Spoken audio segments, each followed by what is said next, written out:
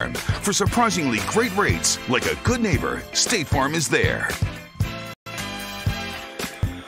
Uh, the Rockets had prepared themselves for liftoff, largely using veteran players and acquiring players outside of trades, and it's really paid off. He had eight straight playoff appearances, made it to the finals a couple of times during that time span. 639 winning percentage was third best in the NBA. Russell Westbrook, James Harden, though, within about a month or so, 2021, traded and then mission completely scrubbed.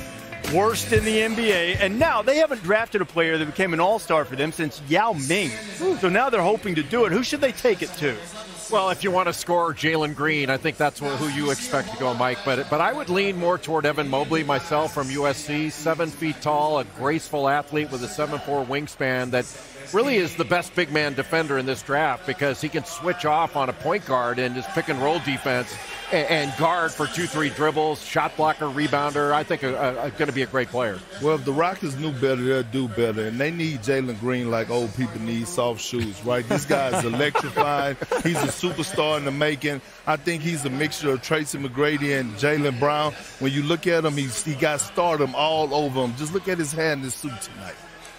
I'm with Big Perk. I think Jalen Green has the most star potential in this draft. And by the way, it's not easy to go to the G League and average 19 points a game at mm. 18 years old. That doesn't happen often. So I love Jalen Green's upside. I just learned something.